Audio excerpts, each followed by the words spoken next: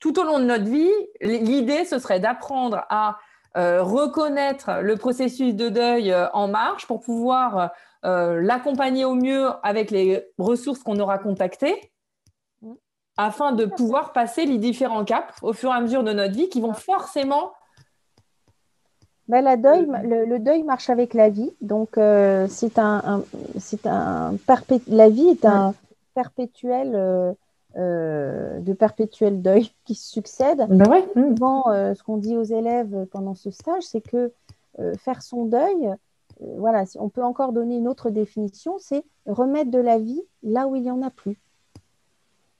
donc, dès qu'on repère à l'intérieur de soi que quelque chose est figé, que les choses ne circulent pas, ben, il va falloir remettre de la vie, il va falloir faire bouger l'énergie. Et voilà, on a des, protocoles euh, pour aider. Alors déjà, le test musculaire va nous permettre d'identifier là à quel endroit la personne est bloquée. Mmh.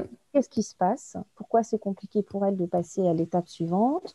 Alors, nous, on ne va pas visiter euh, ces étapes-là d'une manière chronologique, parfaitement linéaire, parce que, euh, voilà, hein, on peut faire des allées et venues c'est le principe en kinésio. Hmm. Voilà, c'est complexe. Hein. On ne peut pas dire, bon, bah, allez, ça y est, c'est fini, on n'y revient plus, plus jamais je ne serai triste. Non, ce n'est pas vrai.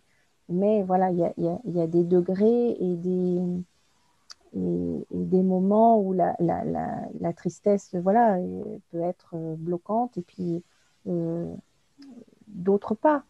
Euh, davantage, elle peut davantage s'apparenter à la nostalgie.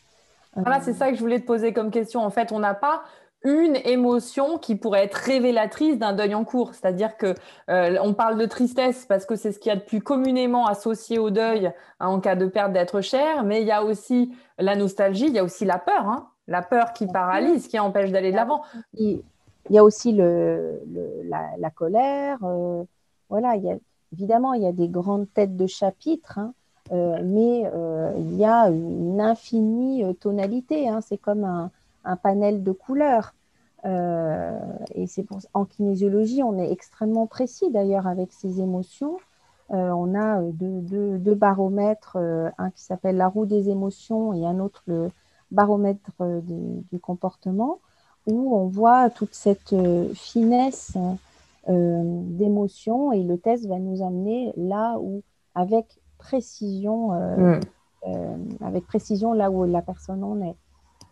Même si elle n'a pas forcément les mots dessus.